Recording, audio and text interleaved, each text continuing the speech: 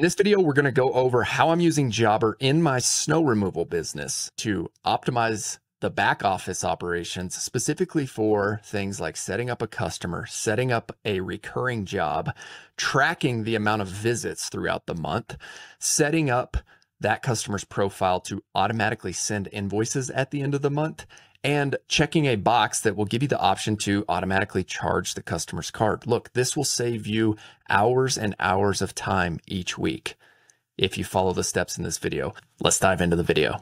Okay, we're in the Jobber app right now. And as I mentioned in the intro of this video, I'm going to show you exactly how to set up a customer for a snow removal job. To provide some context, this is a residential customer. We service them on an as needed basis our trucks go out on a three inch snow trigger. So that means whenever three inches of snow accumulates, we go out and plow. So we need to be able to set it up to where we don't have an automatic visit created. We need to set up a customer to where we create a job. We need to be able to track the amount of visits.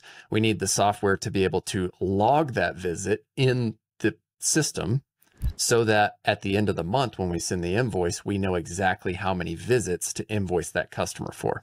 Sounds straightforward, right? If it's still confusing, just stick around. I'll show you. Let's dive into it. Okay, so let's go to clients. Viewers, if you were watching this and you used my setup instructions in the video I created about using Jobber in your home service business, you can click that video right here if you haven't watched it yet. If you use the lead capture form on your website to capture the customer's information, it's already going to be in here. So I can seamlessly go in here. I can say, okay, I sent them a quote for $55 per plow. We're going to click this button, convert to job. I'm going to make sure the salesperson is correct. I did the sale. I'm going to choose the service project category. This allows us to track our metrics uh, related to each specific service category. And then I'm going to go down here and I'm going to click recurring job. I want this job to start on the 30th. We're going to get some snow this weekend. So I need to make sure and track the visit duration. Let's change it to the end of our snow year. So we're at January. So let's go March, April. So let's just put four in there. That way this job will be open until May 29th. Our contracts only go until the end of April. So uh, this allows us to track this job all the way through our contract. I'm going to assign this to myself. Um, and we need to choose this box. This is super important for snow removal. We need to choose as needed. We won't prompt you. Okay. Now, when you choose that, you're going to rem- you're going to uh, eliminate the ability to choose a time. And why is that? Because you have to manually tell the system that you're going out to plow whenever you plow snow. Okay. This isn't like lawn care where you can say, hey, we are showing up every week on Thursday at your property. It just doesn't work like that in snow. You have to mobilize your equipment and your plow trucks on the days that it snows, right? So you need to set up the system in a way that allows you to tell the system when you're going out. And I'm going to go over all that here shortly with you, how to do that if you stick around and watch the whole video. The next thing we want to do is set up invoicing and automatic payments, all right? How do you want to invoice? We want to invoice per visit. In our business, we bill for this customer $55 every time we go out and plow when three inches or more of snowfall happens. So we want to track every time that we go out. That's why we're choosing this button.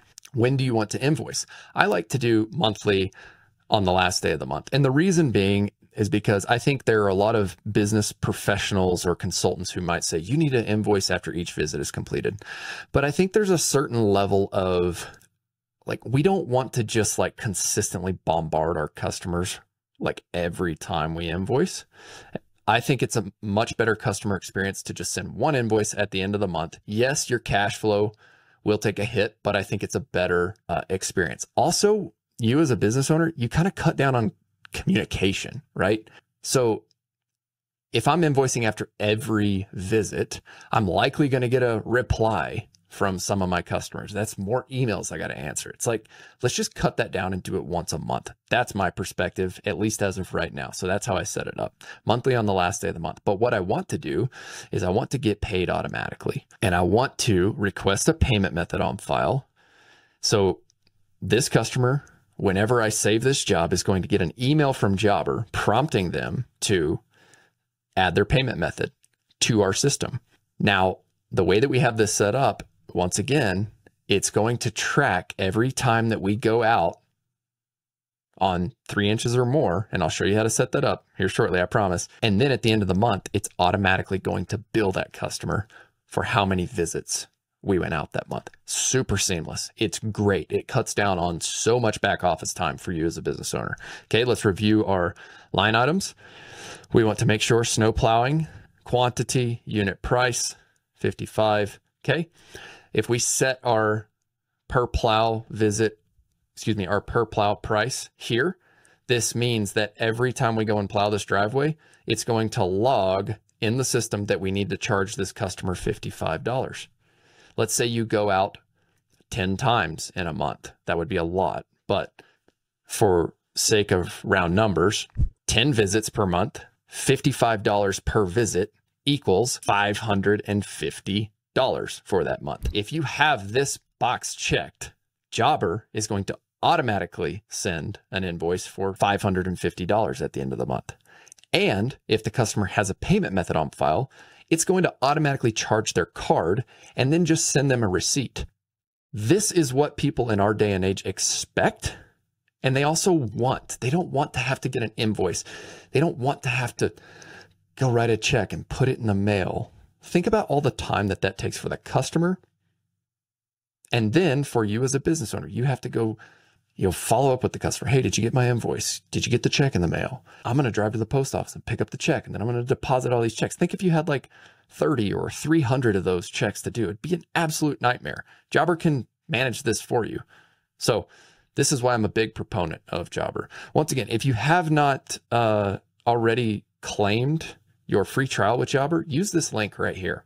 We've developed a partnership through the OWNR OPS podcast, and Jobber is offering our listeners a free trial plus 20% off your first six months the software. We get a small commission for it, but I've got a ton of equipment to pay off. So you have my word that I'm going to take this commission check if you decide to sign up, and I'm just going to pay off my skid steer with it.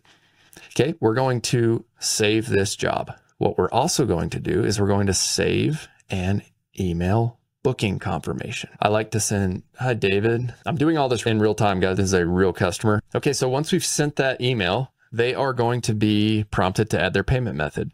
That's all you need to do. The only thing that you may need to do is follow up with them to make sure that they understand kind of the terms of how you're going to be billing them. I love including in that email a notification just about how we're going to track our visits, how you're going to be billed, and confirming that they will receive a receipt at the end of each month so that they can review. And should they have any questions, they can reach out. Okay. That's how you set up a customer for recurring plow services. So we're going to move into how to create the visits on plow day. And it's like two minutes or less. So on plow day, let's say you get three inches of snow. What we do is we go in here to our schedule. You would click more actions. You would click visits. So create new visits. You're going to see all of your recurring plow customers, and you're also going to see a map associated with it. If you've been tracking this correctly, you can keep this filter as with no incomplete visits before today. All right. Then what you'll want to do is you'll want to double check the amount of clients you have. If you do not check off the visits as complete in a later step here, which I'll cover in the video, they will not show up here with this filter.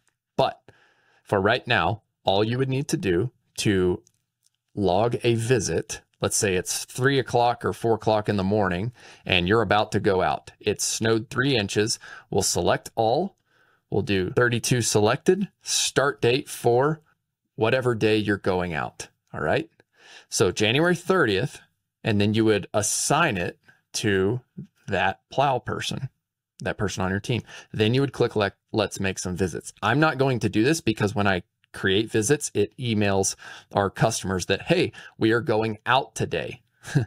we are going to be plowing today so that it lets them know ahead of time that at some point today, our plow truck will be there.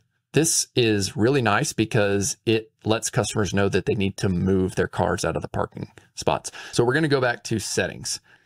We're going to go to client communication. We are going to do emails and text. What we want to do is filter this visit reminder. You can see I have it turned off for the purposes of this video so I can show you where to click it on. Automatically notifies a client about an upcoming visit. So what we want to do is turn that on. We're going to edit this. What I want to do is send the reminder the same day as the appointment by email at 6 a.m. So as long as I create my visits before 6 a.m., which on a plow day, I'm out early anyways, it's going to send them this email. Hi, insert client name. Friendly notification from the Bear Claw team that we have you on the snow plowing schedule today. Click the link below to view your appointment. Sincerely, let's see. please, let's do this. Please help us by removing any vehicles in areas you would like plowed today. Okay. So you'll see this preview right here. Hi, Miss Natasha Wheeler. I think that's just a uh, placeholder name. Just a friendly notification from the Bear Claw team that we have you on the snow plowing schedule today. Please help us out by removing any vehicles in in areas you would like plowed today. And then they can view the appointment. Then they have our contact information and then you'll hit save. You can see in January, we had one visit, two visit, three visit, four visit. Okay. So at the end of this month, we have a invoicing reminder and it's set up as automatically billed. So it will just automatically tally one, two, three, four. Four snow plowing visits. We have this person set up as 50. So it's automatically going to bill this person $100. And it makes it very easy for you at the end of the month to do billing. So these are some reasons why I love Jobber for residential snow plowing. If you have any questions, don't hesitate to reach out. I'm available. I love Jobber and I love being a Jobber ambassador. So use the email below if you want to get some 1v1 training. I'm happy to make sure that your business is set up well. Happy to answer questions that you have. If you do have specific questions, just post them in the comments below.